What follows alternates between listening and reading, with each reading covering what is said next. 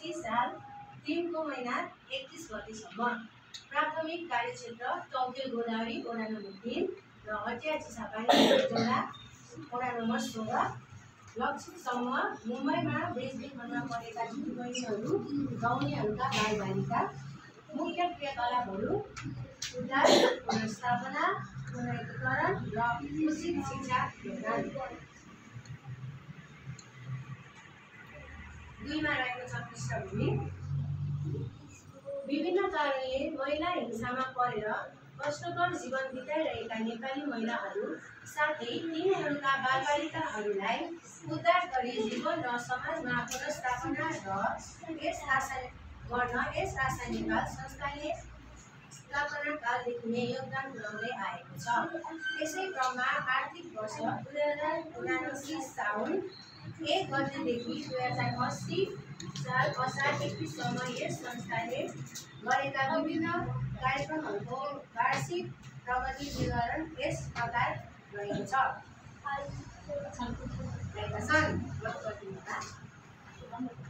आशा नेपाल गोदावरी वडा नम्बर तिनमा हाल बालक पन्ध्रजना बालिका सत्रजना युवती पाँचजना मानसिक अस्थिरता भएका छजना र महिला सातजना गरी हाल केन्द्रमा पचासजना जतिहरू आश्रित छन्।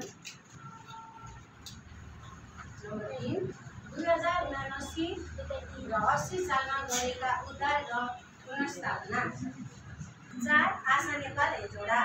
यस संस्थाले आफ्नो कार्य विस्तार गर्ने क्रममा हेटौडा शाखा विस्तार भएको हो।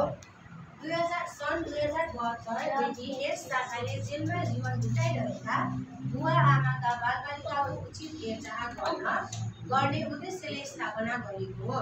तीन कर्मचारीको सक्रियतामा संस्थाको कार्यहरू सञ्चालन भइरहेको छ जसमा पाँच बालक र आठ बालिका गरी हाल तेह्रजना आश्रित छन्। संस्थाले आफ्नो कार्य विस्तार गर्ने क्रममा इन्डियामा सेन्टरबाट आशा नेपालका चारजना युवतीहरूले प्रोफेसनल बारिस्टर ट्रेनिङ पुरा गरी सर्टिफिकेट प्राप्त गरेका छन्। ट्रेनिङमा सहभागीहरूले विभिन्न किसिमका कफीहरू र ड्रिङ्क्सहरू बनाउन सिके जसका सहायतामा पछि गएर उद्यमशीलता र साथसाथै स्वरोजगारका सृजना गर्न सक्ने क्षमता पनि हासिल गरेका छन्।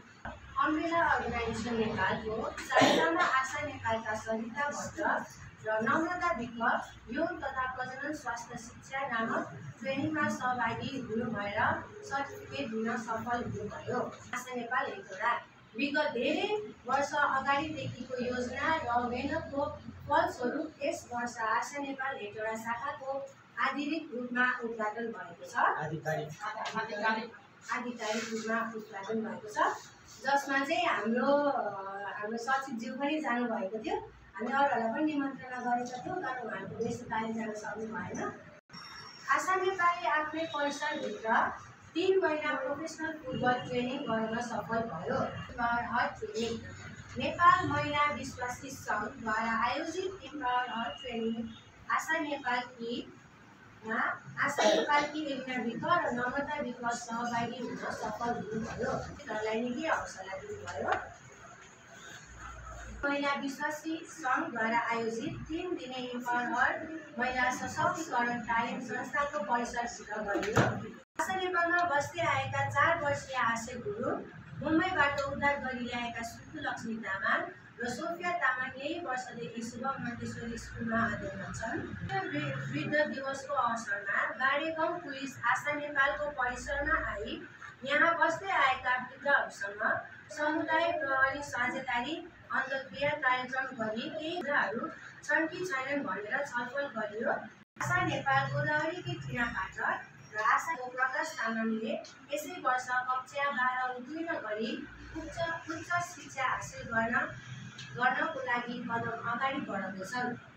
शासकीय प्रमुख त्यसकिला मैनालीले स्कुटरको